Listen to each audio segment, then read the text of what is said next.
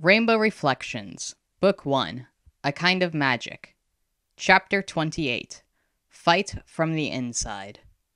Sorala hurried to the mirror pieces lying on the ground. She stomped on the glass, kicking the tiny shards all over the place. But it was too late. The spirits, or whatever they were, were still in the room, and they gazed upon her with hatred. Stop what you're doing! Shrieked one of the figures, which looked like a large pumpkin with legs and antlers. It doesn't matter, another creature growled, this one with the appearance of a tiger. It flicked its club tail, smashing it into C3's bed. We won't need the mirror any longer. We're finally in the school, and that's all that matters. Sorella's heart was beating more rapidly than at any other point in her life. So these were spirits? These odd looking creatures that just came out of the mirror? How was that possible? And why did there have to be a tiger, the very same creature that had stalked her in the jungle only months before? She still had nightmares about that. Humans, stay here, the tiger spirit commanded. Wren raised her hand shakily, as if they were in class. Um, spirit? What's going on? Is there anything we can help you with? Sorala could have gladly knocked Ren out to make her shut up. Why would she offer to help these beasts? The tiger seemed to take Sorala's point of view and glared upon Ren suspiciously. What are you going on about? The tiger snarled, its ears flattening. Ren lowered herself to the ground and bowed her head, careful to avoid any shattered glass. We are here to serve you, she said. We praise the spirits. The tiger's lips curled back. Sorella's heart skipped a beat as it advanced towards Wren, its club tail sliding along C3's bed and tearing the cotton sheets. But it did not strike at her exposed neck. It instead glared down at her for a long moment, then hopped over her and entered the hallway. The other spirits, the pumpkin with antlers, a twig, a moss covered lizard bird, a feathered armadillo turtle creature, a shadowy figure with five tails, and an eel looking griffin, followed it soundlessly. What do we do?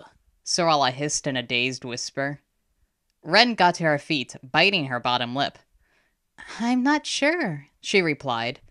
My vision felt bad, but those spirits didn't seem too mean. Sorella stared at Ren incredulously. Several thoughts were swimming around her head like frenzied fish, each of them flashing danger. But she was too astonished to form words, her mouth moving pointlessly as she struggled to speak. Those spirits didn't look too friendly, Zin murmured. We have to warn the teachers. Yes, let's do that, Sorella said. She left the room with the twins behind her, ignoring C3, who sat on the ground in a daze. Do you think they're in range for telepathy? Ren asked. Zin shrugged. It's worth a try. Let's just be as loud as we can. Sorella glanced back at them for a moment, frowning at their focused faces. She had a suspicion throughout the year that the twins held silent conversations, but she didn't realize they were doing telepathy, or that it was possible.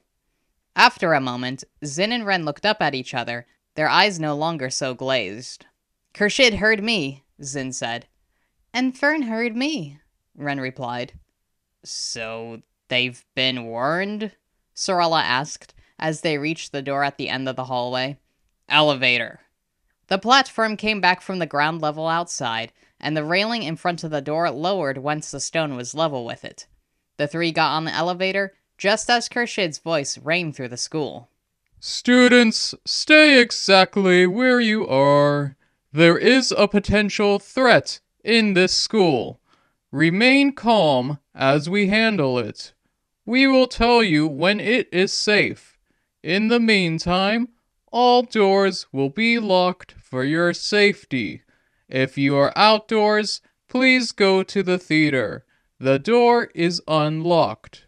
As soon as he finished speaking, the door behind the trio closed, right in C3's face as he hurried to catch up to them. They could hear a small yelp of surprise, but no matter how much he rattled the doorknob, it wouldn't open.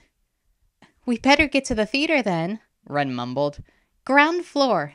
she ordered the elevator. Look, Sarala said, pointing. The group of seven spirits was wandering the courtyard near the pond. They seemed almost confused about what they were doing or where they were going. Movement caught her eye, and she quickly looked to see Khurshid, Fern, and Aster exiting the library. The elevator reached the ground, and the teens got off. They hurried to the garden for cover, then peered around the sweet scented bushes. Behind them, two students entered the theater rapidly, the door slamming after they were in. Cowards, Sarala thought, clenching her jaw. She focused her attention forward again, watching as Fern hurried to the spirits. Greetings, spirits, Fern said loudly, her voice echoing around the courtyard. May I ask what business you have here? The spirits remained silent as they watched her. Then they simply turned and headed for the front of the school. Fern hurried after them, keeping several meters away. If you are looking for Hyaktu Saihan, he is not here, Fern went on briskly. May I show you to a waiting room? The spirits ignored her, coming to a stop outside of the southern building. Please answer me, Fern called. Otherwise, I will have to remove you from the school. What are you doing here? The tiger turned around to face Fern, sharp spikes appearing on its back as it bristled. You will not remove us from the school, it snarled. Then please tell me why you are here, Fern repeated.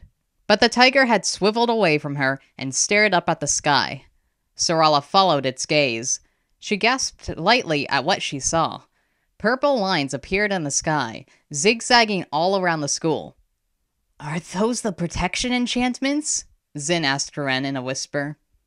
I think so, Ren replied quietly, her voice quavering. I only saw Dad put them up once, but they were a bunch of purple lines like that. They're taking down our defenses, Sarala muttered, pulling her wand from her yellow robe. Ren grabbed her arm quickly. Sarala, no! What, are we supposed to sit here and wait for the defenses to come down? Sarala snapped. You do realize they're probably lowering the protections for something else to come in, right? Yeah, something bigger, Zin said, emphasizing the word to Ren. Which could be from your vision. Ren shifted uneasily. But what can we do against the spirits? They're. She broke off at the commotion across from them. Fern had jumped forward, her tattoos and spiral necklace glowing a vibrant green. She had no use for a wand as she flicked her wrists, causing plants to rise out of the ground. How's she doing that? Sarala breathed. The plants grew quickly, slick vines spreading towards the spirits. But the spirits were faster. They jumped out of the way or used their claws to slash the vines. The tiger lunged towards Fern, diving between the plants that tried to grab it. We have to help her, Sarala growled, shoving Ren's hands off of her. No! But before any of them could move, a huge wave of air smashed into the tiger and sent it flying backwards. Khurshid had arrived just behind Fern, his palms striking forward as he leaned into his low stance. Aster had joined them as well, holding up his wand at the ready, though he looked quite nervous, judging by his stiff body. The large wind stopped as Khurshid straightened up. The spirits were now lying on their sides in a grumbling dismay, after being thrown several meters away. The eel griffin had even landed in the pond and swam out. Leave the school, Khurshid ordered the spirits.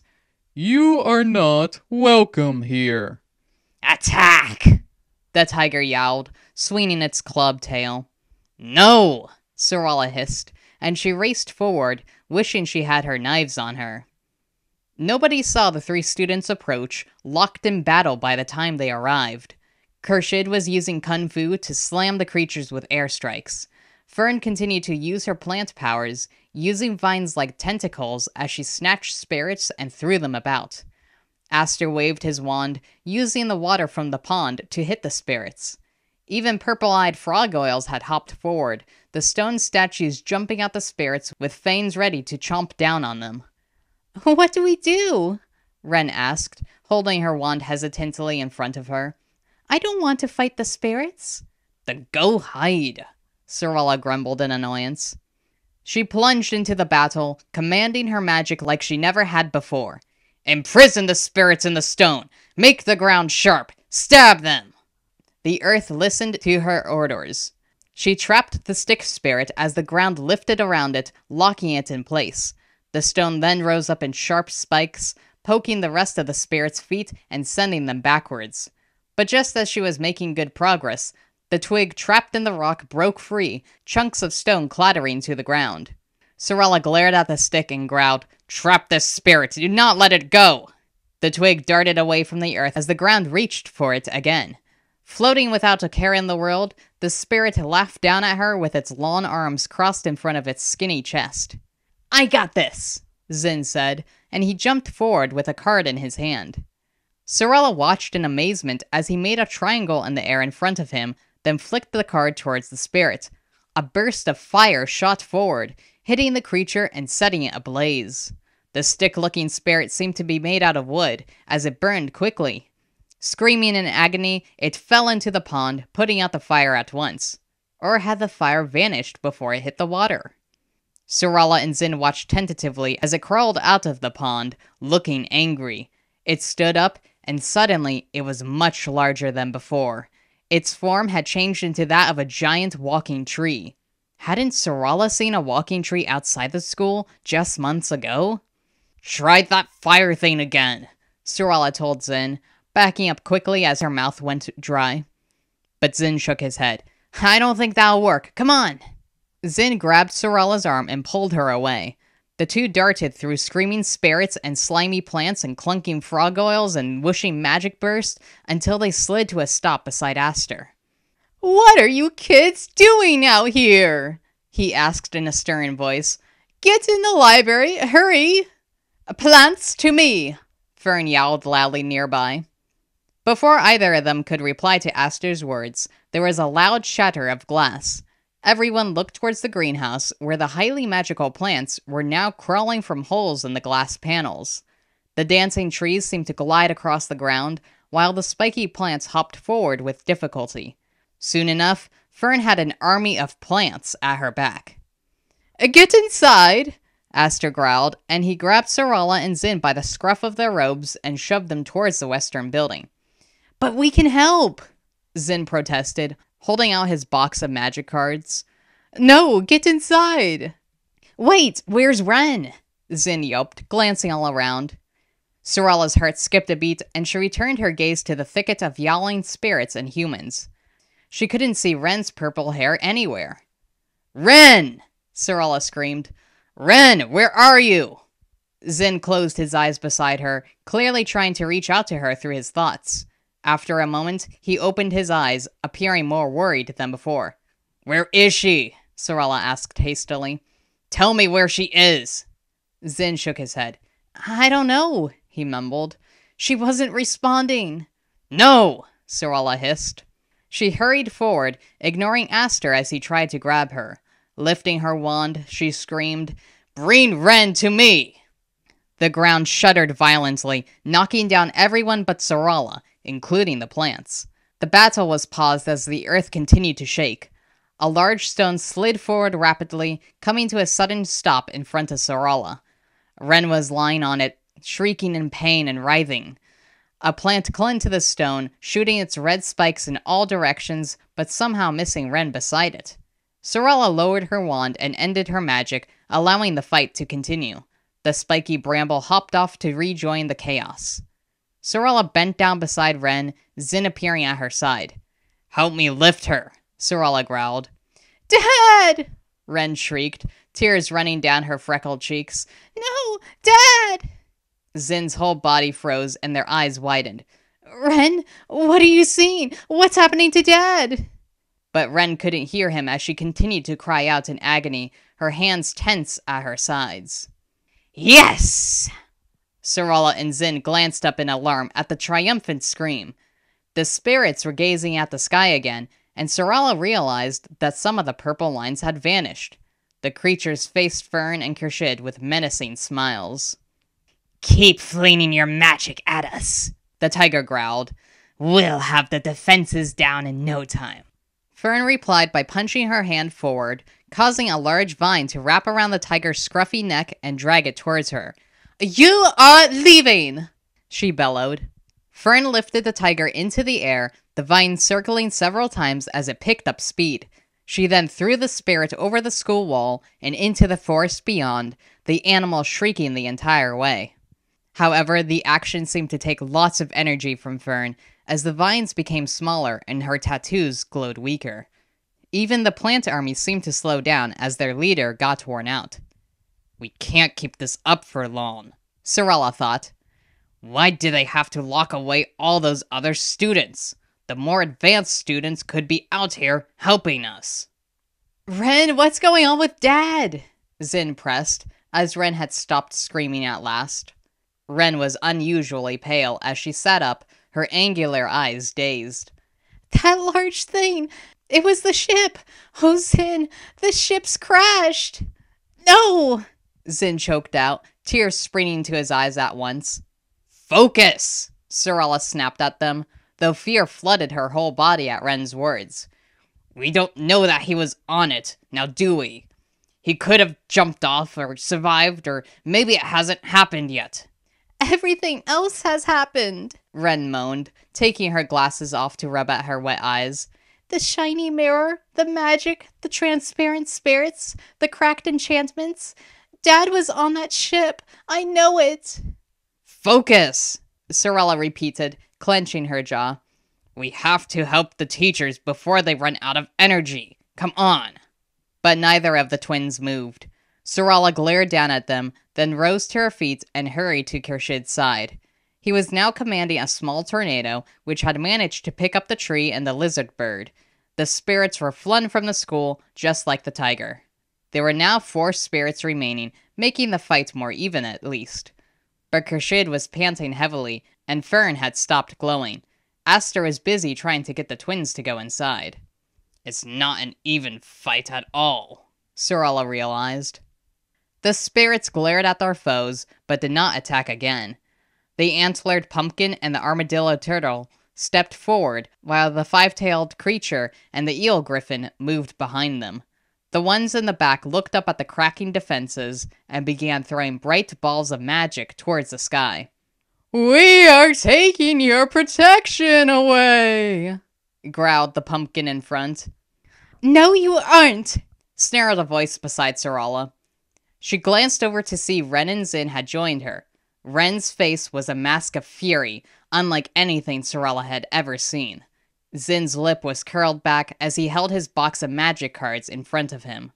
Without warning, Ren jumped into a square stance and punched the air, causing a large gust of wind to strike the two guards over.